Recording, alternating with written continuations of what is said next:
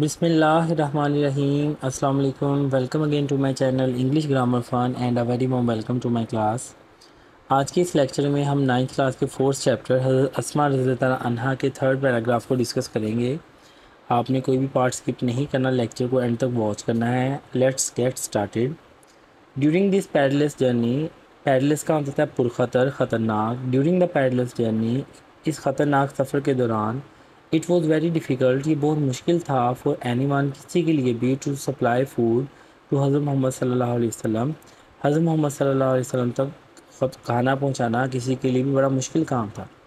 The situation was so delicate सूरत हाल इस कदर नाजुक थी दैट द स्लाइटेस्ट मिस्टेक कि छोटी सी भी गलती कुड हैव इंडेंजर्ड ख़तरे में डाल सकती थी द लाइफ ऑफ़ रसूल सल्लल्लाहु अलैहि वसल्लम, नबी सल्लल्लाहु अलैहि वसल्लम की ज़िंदगी।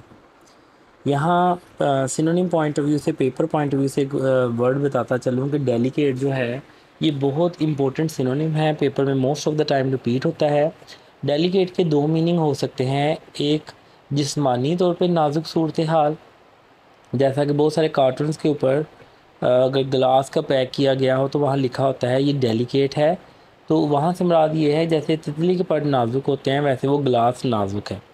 लेकिन यहाँ सूरत हाल जो है, ये जहनी तौर पर एक कैफियत है कि दुश्मन पीछे लगे हुए हैं और उनसे बच के कैसे जाना है।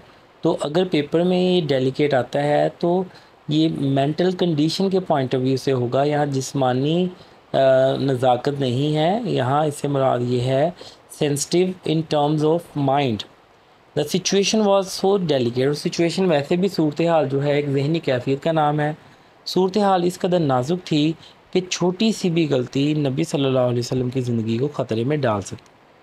दिस ग्रैंड टास्क ये अजीम काम वॉज़ नाइसली अंडरटेकन बखूबी सर अंजाम दिया गया बाई असमा रज़ी अनहा द डॉटर ऑफ़ हज़रत अबू बकर सदीक रज़ी हज़रत अबू बकर सदीक रज़ी की बेटी हज़रत असमा रज़ी अनहा ने इस काम को बड़ी खुश असलूबी से सर अंजाम दिया।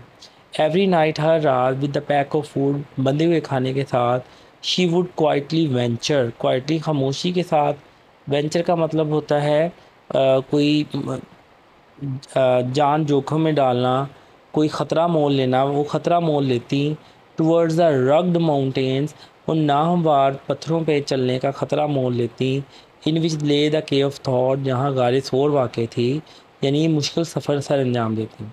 She took care of the minute detail यहाँ आप देखें कि ये माइन्यूट के जो स्पेलिंग है, ये मिनट के ही हैं, लेकिन यहाँ इसको मिनट नहीं, इसको माइन्यूट पढ़ना है, इसका मतलब छोटी सी छोटी। आप रजिल हाँ छोटी सी छोटी बातों का ख्याल रखती इन अकम्पलिशिंग द टास्क काम को पूरा करने में, काम को सर अंजाम करने में, काम की तकमील में। How difficult it must have been कितना मुश्किल रहा होगा फॉर हर उनके लिए टू ट्रेवर्स ट्रेवर्स का मतलब होता है पथरीले रास्ते पे चलना the rocky path at night हाथ में रोशनी भी कोई नहीं है, अंधेरे में उनके लिए कितना मुश्किल रहा होगा इस पथरीले रास्ते पर चलना।